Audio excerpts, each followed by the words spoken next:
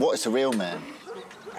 What's a real man? Anyone got an answer to that? Hi, I'm Grayson Perry. We're just making a film about men, really. Have you ever had a fight? Well, when I was a kid, I never thought, oh, you know what, I must get better at this. But I just wonder if there is a point where you think I have enough money. A man in a dress, and I'm quite competitive, and I can be quite aggressive sometimes. Grayson Perry uncovers the truth about modern masculinity. It's amazing. Thank you. Brand new series Grayson Perry All Man starts Thursday at 10 on 4.